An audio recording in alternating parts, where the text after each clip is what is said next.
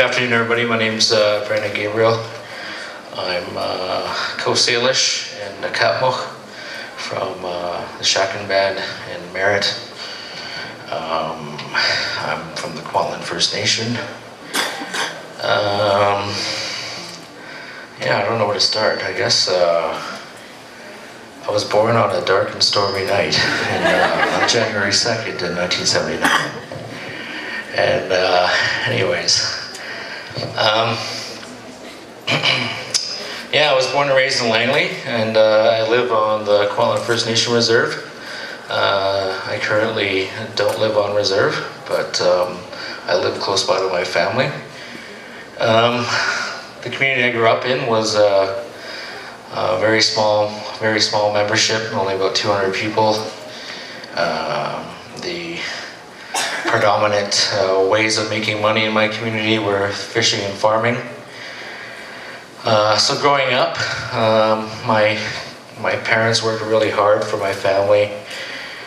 Um, uh, if so, when I was a kid, the expectations weren't very high for somebody to go into um, uh, post-secondary institutions. The, expectation is that either become a farmer or a fisherman, and uh, I didn't follow either of those paths. So, um,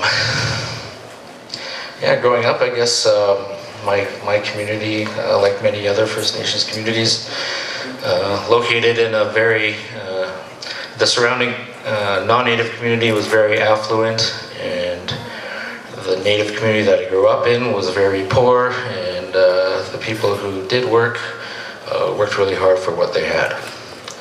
And to a large extent, my community is still very much like that today. Um, I went to school in Langley. Um, I got my, let's see, I started my education at um, Kwantlen Polytechnic University. I studied anthropology and marketing, and then from there I went on to Emily Carr University, and I got my degree, my bachelor's degree from Emily Carr University. Uh, I'm currently enrolled at the Justice Institute of British Columbia in the Aboriginal Leadership Diploma Program.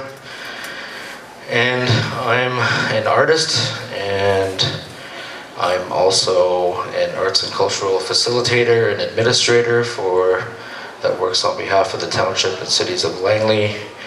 I'm an honorary member of the anthropology uh, faculty at Kwantlen Polytechnic University, and I'm the marketing and special projects coordinator for the Seyem' Kwantlen Business Group, which is a business subsidiary of uh, my First Nation.